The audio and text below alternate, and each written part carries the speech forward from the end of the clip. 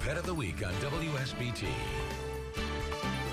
On Thursday means that Nancy is here from the Humane Society, and today, uh, welcome first of all. Thank and you. We have this great dog. She's such a cutie. She is. This is Sadie, and she is a chow mix. Um, she's five years old, a female. She has been spayed and microchipped.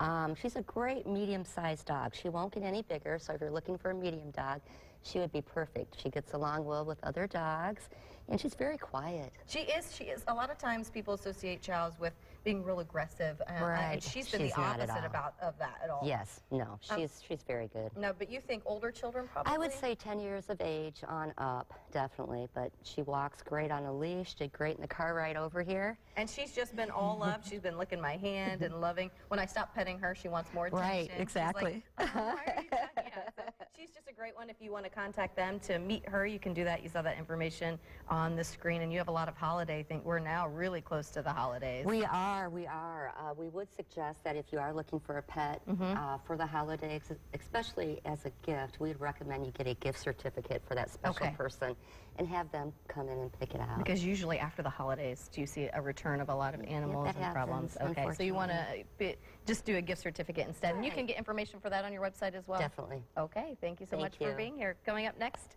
uh, one last look at the seven-day forecast.